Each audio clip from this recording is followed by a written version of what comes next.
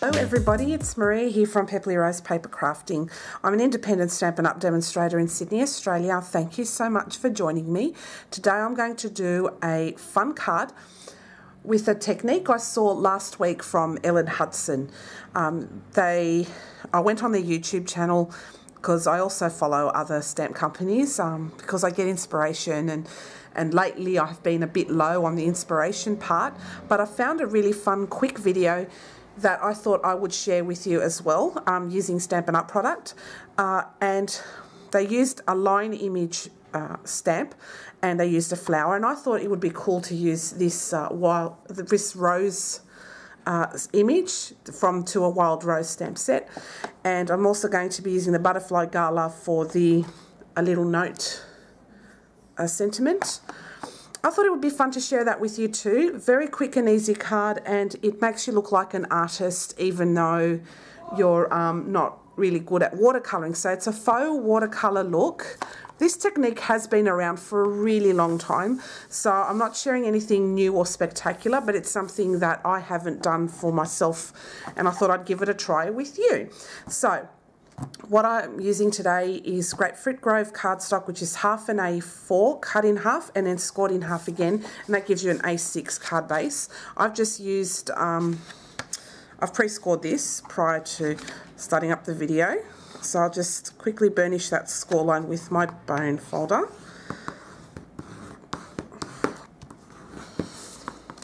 And then from whatever card base you, you wish to use, like this is very uh, versatile, you need a, a Whisper White piece of cardstock that is a quarter of an inch shorter all round than the actual card base. So you'll need one for the inside and one for the outside, so you'll need two of those. And I've got a strip here of a quarter of an inch of Grapefruit Grove. So we'll get started on this technique. You will need your Stamparatus or you will need whatever um, kind of uh, stamp positioning tool you may have. I've just put a piece of paper here just to protect my uh, mat there. I'm going to bring up the rose image and I'm going to bring up a card stock there and I'm just going to put it in the middle. Now, I'm just trying to think. I'll pull that right in the middle there, like that. And there will be a reason why, because I'm going to use this to stamp the whole uh, lot around. So, I'm going to use that like that. And then for that, I'm going to do this here because this is going to be the inside piece. So what you'll need is uh, pineapple punch or grapefruit grove. And I'm going to use my pineapple punch first. And I'm going to ink half, half of that. Then I'm going to grab the grapefruit grove and ink the other half of the flower. And then I'm going to spritz it with some water using my Stampin' Spritz. And this will give like the faux watercolour look. So I'm just going to do the bottom of this. And it looks like you've gone to the trouble of using watercolour. See that? Isn't that just the coolest? Now that is a little bit too much water, so spritz a lot less if you're using Whisper White cardstock. So I'll just grab um, a bit of a tissue and I'll just mop up the um, the excess water. But I think that turned out terrific. I really love that. So I'm just going to put that to the side. And I'm just going to clean the stamp. So you've got to clean the stamp with each and every application. So I'll just put my Whisper White here in the middle again. And I will ink up half with pineapple punch and the other half with the grapefruit grove. I'm going to spritz it once from afar. Okay. And then I'm just going to stamp it.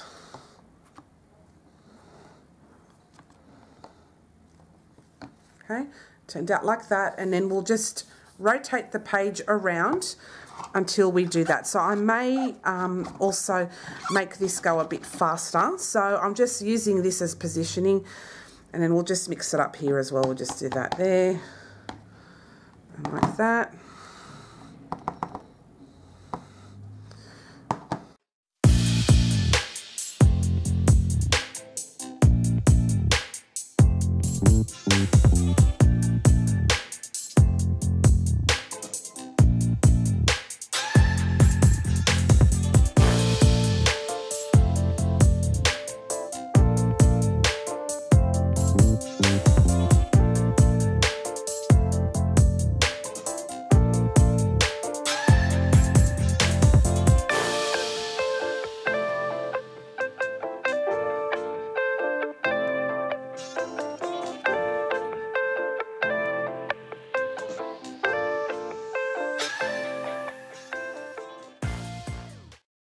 Stamping this and it turned out absolutely beautiful. It's very artistic, very different and I quite like this because this technique is so easy and it just blew my mind.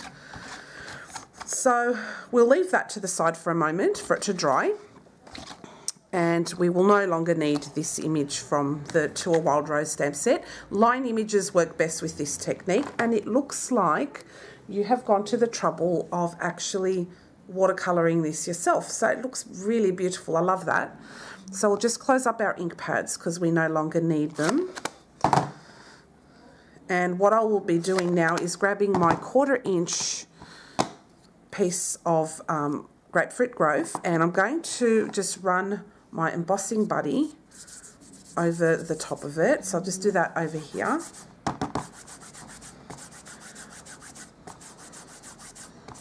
Okay. Then I'm just going to put it into my stamping tool, or Stamparatus in this case. I'm going to use a little note, because I think that that can be used for any occasion. So you can use that to say thank you, or happy birthday, whatever you wish. So it's really versatile that way. So I quite like that. So I'm just going to just pop this down here. And then I'm going to put the stamp up there. Just a bit up there. Actually, I might put this down further just to make sure that it's, um, make sure that's square on. I'll put that over here because it didn't fit right up there. And oh yeah, before I put this down, I'm going to get a magnet and I'll just put that there just to ensure it stays in place. Okay. Right, so now I'm going to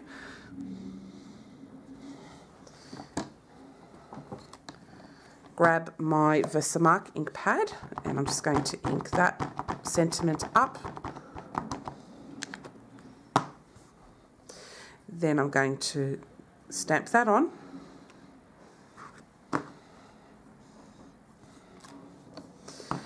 And then I'm going to grab my white embossing powder. So I'll just give that a quick clean.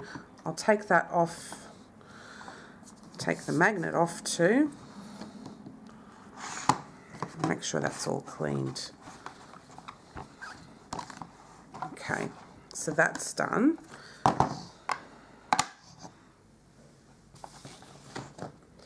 And I'll just grab now my white embossing powder Sorry about the noise of that. It's a bit loud. Okay, so I'm going to heat emboss this off camera and I'm also going to just um, put the heat tool through these just to dry them quickly and I shall be back. So I've just finished heat um, embossing the sentiment, that says a little note right there, and I've also just passed the heat tool through these um, to dry them up. Now, because I had put a, a, lot of water initially, this is now kind of buckled, but this one fared better because you learn from experience. so what I'll do with this sheet here is I'll put that on the inside.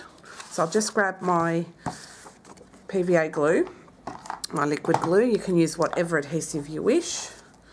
I like using liquid because it just gives me that little bit of wiggle room to ensure that um, I adhere that down correctly.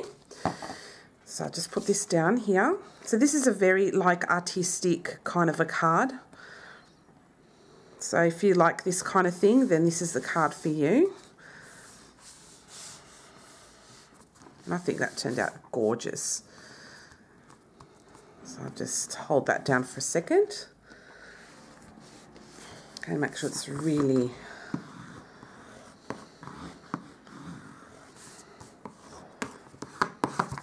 pass my um,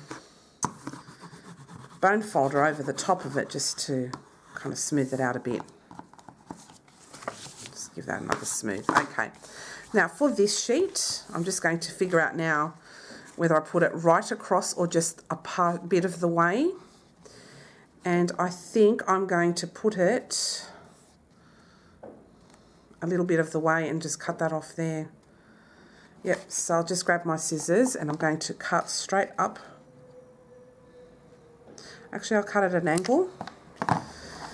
And I'm going to stick that down with some glue like that. And I think that looks lovely. So I'll go, might give myself a marker up to there. I'll just glue that down.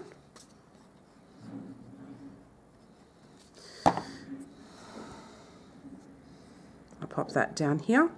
This can be used for any occasion. You can also feel free to um, change up the sentiment as well, like it's not set in stone. So that's pretty good.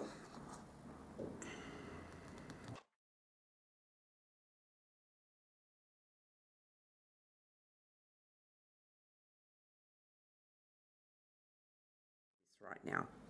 So I'll just go over the same area so you can't tell that there's been any um, mucking around there.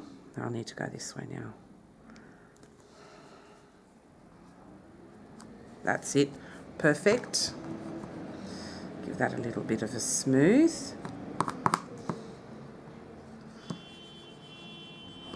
Okay, so I'm now going to just cut that excess bit off.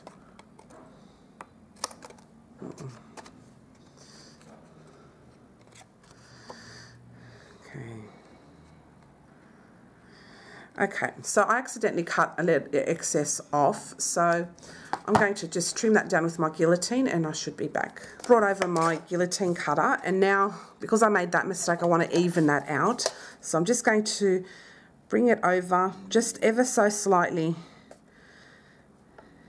and this will cut even the smallest slither. Check that out. So you could not tell that there was anything untoward isn't that great? I love that trimmer. So I'm just going to pop this now over the top of my card base. And this is a very simple but artistic looking card and I like it. You can feel free to change up the colours. As I said, this is not a new technique. This has been around for a long time, but I was, I was inspired by the Ellen Hutson video that was put out a couple of weeks ago, I think, and um, I really enjoyed that because it was just so simple but yet gorgeous and effective.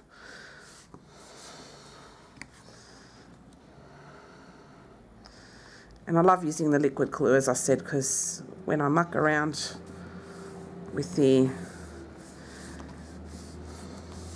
positioning, sorry, I'm lost for words, with the positioning, I'm able to fix it up. So just give it a smooth over with my bone folder as well. Just makes it look a lot smoother, and nicer. Just Okay, so there you have it. That's my finished card for today. I hope you like it. If you have any questions at all, please don't hesitate to uh, leave me a comment the video below.